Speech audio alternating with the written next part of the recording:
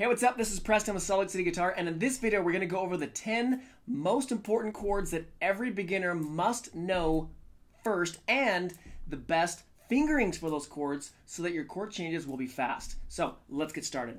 All right, so the first chord is an E minor. Don't worry about the name of why it's a major, why it's a minor, and this is how you play it. You're going to play the sixth string, zero, which is just open.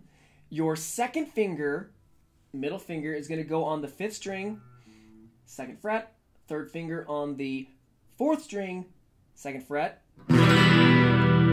like so. Okay?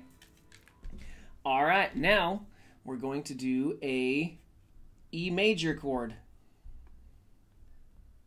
Zero, two, three, one, zero, zero.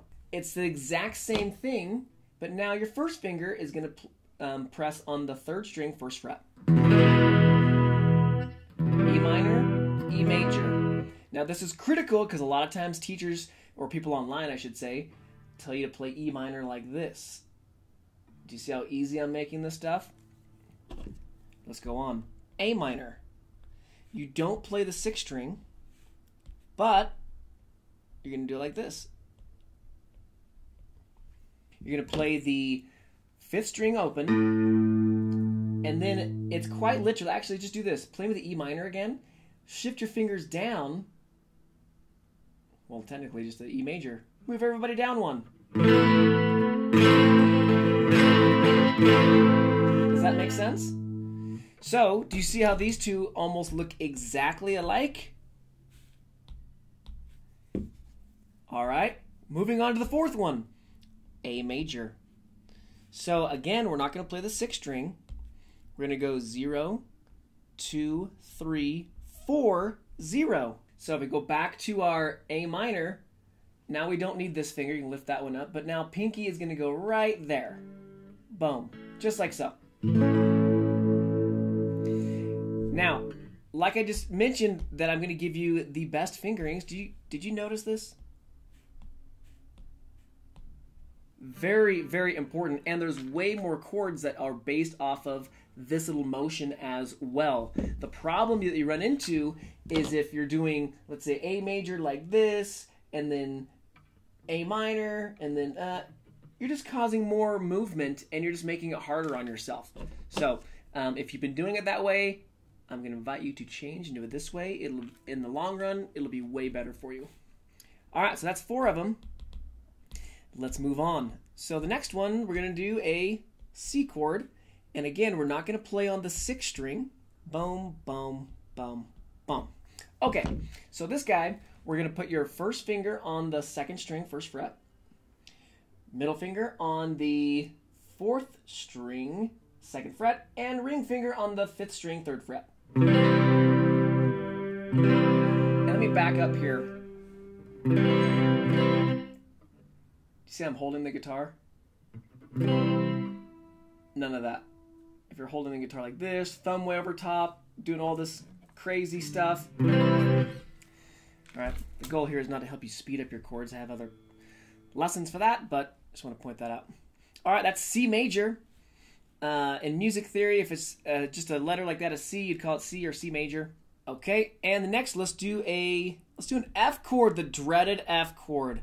Everyone's so scared of the F chord, but it's really simple. Wait a second. That almost looks just like the C. C chord, right? And then you shift those two fingers down.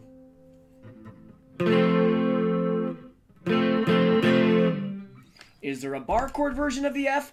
Yes, there is. There's a bar chord version of every one of these chords. We can have other videos for bar chords, okay? And last, let's do D minor.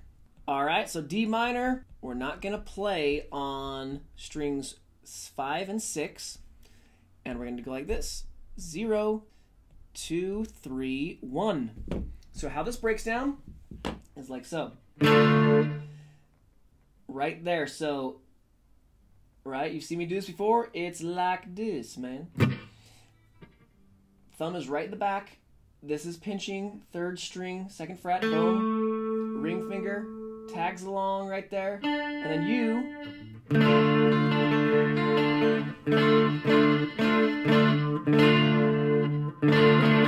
All right, there's your D minor. Okay, what are we at? We've got seven. We're almost done. And next chord, let's do a G chord. We're gonna go like so. Four zero zero zero two one. Now, this one's gonna be really offensive for some people because I know they like to do this with a ring finger, and don't do that. I'm gonna show you a much better way, and I'll show you why. So again, sorry, I'll let me get ahead of myself. Pinky on the first string, third fret. Then your second finger, first finger, on the fifth string, second fret, and second finger on the sixth string, third fret.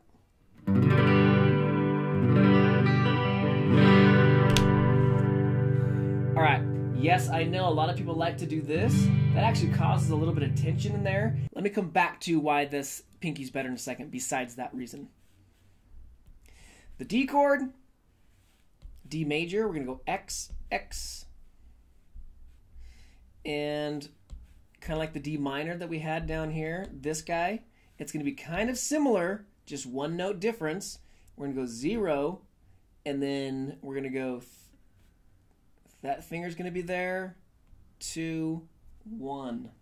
Second, uh, second string, third fret, ring finger, first finger on the second, third string, second fret. The tongue twisters to do this. And then second finger on the first string, second fret. Again, I know this is not a technique lesson, but don't be jutting this stuff out. All right. Okay, so really quick, a common variation for the G chord looks like this: four, three, zero, zero, zero. Whoop. One, two. We can have a lesson on pivot chords later, but or like G, G, add nine. Oh, I'm not. Add nine was not in the. Maybe we can do a bonus one. So in my book, I like to call anything other than a major minor a spicy chord because it's got a little bit of spice in there, right? So I wasn't going to show the add nine, but I'm going to do it now because it looks just like that G, and it's very commonly used G, um, D major, and then C add nine. It goes zero and then two one. Do you see how this looks just like that? All it is.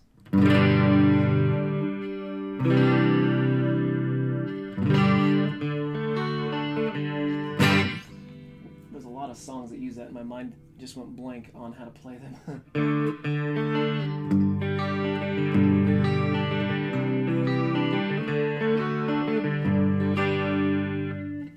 what song is that? It's a Green Day song. See how easy of chord change that was? And what I'm getting at is if you play like this and then like, oh, but now in this other song I've got to do the, this thing, dude, just play like that, and then that little movement is gonna make your life way easier. Okay? Now, um, that's a bonus one. I wasn't gonna give that to you because I want to give you a B chord because I know when you're playing music, a B chord may show up. So I'm gonna, gonna give you a B power chord actually, B5. So if you're playing a song and you need to play a B minor or a B major, you can just play this B5 and it'll sound great. Here's that. Here's how you do it. First finger, fifth string, second fret, bada bing. Ring finger, you're gonna go over two, down one, which means that over two like frets, boom, boom, down one. So this is gonna be on the um, fourth string, fourth fret, and you only play those two. Hence all those X's.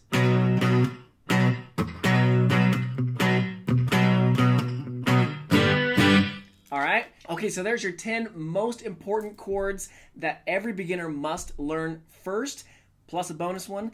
And your job right now is to not speed them up, is just to memorize them. And when you memorize them, just do a little group, let's say two or three at a time. But get these down first, and then you'll be able to play tons of songs, things will come together, and be sure to check out our other videos where we talk about how to speed up your chord changes. Because step one, of course, is memorizing them. Then we need to go through a process of speeding them up, getting them so it's nice and smooth. Okay, so make sure to like, share, subscribe this uh, for this video. If you have any questions on it, be sure to make a comment in the comment section below. And we do have a, I'll put this in the description, a um, little bonus, like a cheat sheet um, deal where um, I go over all the ins and outs of um, things you can do to speed them up. And it works very, very well. So um, we'll see you in your next lesson, training, video, whatever it is. And uh, yeah,